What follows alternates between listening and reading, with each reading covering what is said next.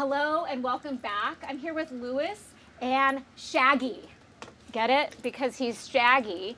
Um, Shaggy just joined the family here at the Little Red Dog not too long ago, so we don't have a lot of information on him.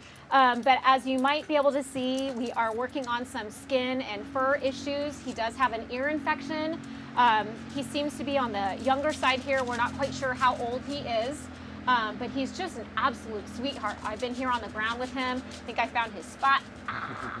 Um, if you're a sucker for the, the shaggy terriers like I am, um, you are surely going to fall in love with this boy. Um, he's getting the medical attention that he needs. He's looking for a foster, um, but you can see that he's a super sweet boy. He's very excited to be here with me on the ground today.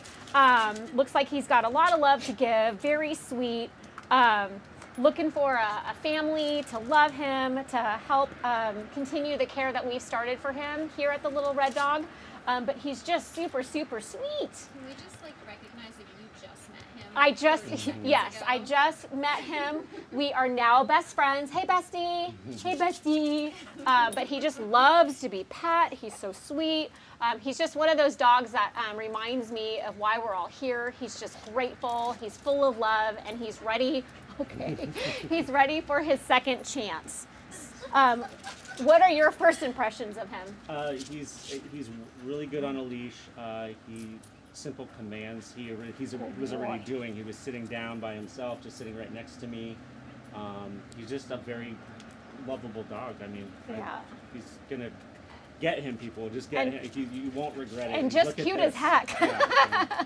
um, oh my gosh. Yeah, he looks like he's um, on the younger side here. But again, um, we do uh, know that he's got some skin, um, some fur issues. We're treating an ear infection. So um, we are looking for somebody to open up uh, their home to him as a foster, or of course, looking for a forever family. So if this very sweet, handsome boy, oh, Shaggy, I love you.